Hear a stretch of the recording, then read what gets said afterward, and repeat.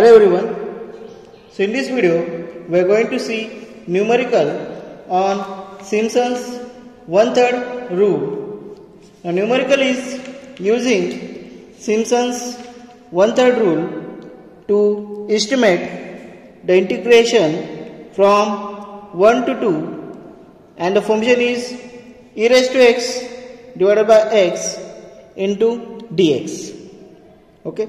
Next in solution, the function is given that is e raised to x upon x and uh, initial limit initial limit is nothing but the x0 that is 1 and the final limit that is 2 so that is 0 to sorry 1 to 2 so initial limit of x0 is nothing but the 1 and final limit xn is 2 let n equal to 6 that number of iteration that we have considered that is 6 and we have to find out the step size. Step size formula is xn minus x0 divided by n so it will be equal to 2 minus 1 divided by 6 so which is equal to 0.1667 okay so value of h is 0.1667 so this stepwise step size with the help of this step size h we have to find out the value of x. Okay? We have to find out the respective value of x. Next is to calculate the corresponding value of x with respect to h and then we have to find out the corresponding value of y with respect to x. So first of all find out the value of x. For that x0 is nothing but the 0 x1 formula is x0 plus h okay? X0 plus sorry x0 plus h it will be 1 plus 0.1667 so which is equal to 1.1667 okay? Similarly x2 is x0 plus twice h so put in the values we'll get 1.3333 take up to 4 decibel. X3 is x0 plus thrice h which is nothing but 1.5 next x4 is x0 plus 4h put in the value for the simplification you will get 1.6667 similarly x5 you will get 1.8333 and x6 will get as 2 which is x0 plus 6h so this is a corresponding value of x with respect to h. That is nothing but the step size. Now what is next step?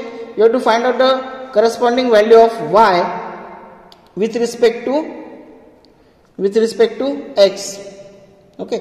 So here y0 we know the equation that is y function is equal to e raised to x divided by x. So instead of x we have to put the respective values of x. Here y0 is nothing but the e raised to e, e, e raised to x0 divided by x0 okay? So that will be equal to further putting value x0 is 1 sorry x0 is 0 so putting the value you will get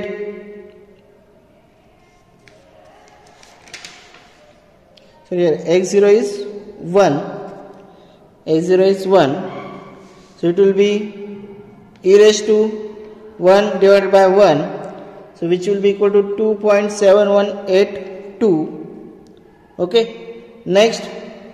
Y1 is e raised to x1 divided by x1 where x1 is 1.1667 putting the value of x1 in this equation you will get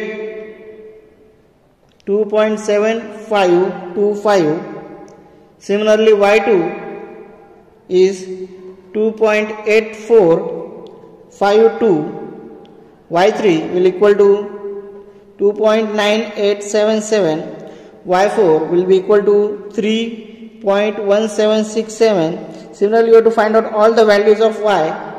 Y5 will be equal to 3.14116 and y6 will be equal to 3.6945 so these are the corresponding value of y with respect to x. So next step is to calculate the area by Simpson's one third rule. So you have to find out the integration. So that is nothing but the calculated total area by Simpson's one third rule. So what is Simpson's one third rule. First of all, Simpson's one third rule is A, A which is equal to h by 3 y0 plus yn plus 4 here the odd terms of y you have to put odd terms of y plus twice even terms of y. Okay so this is the formula for Simpson's one third rule where h by 3 y0 plus yn this is initial and this is final value plus 4 into multiplication this is here you have to add the odd terms of y and plus twice here you have to add all even terms of y. So similarly it will be in such a way that a equal to h by 3 y0 plus y6 plus 4 this is a odd term y1 plus y3 plus y5 plus twice y2 plus y4 so this is this is even term okay so you have to put the value of all the y's in this equation. So you'll get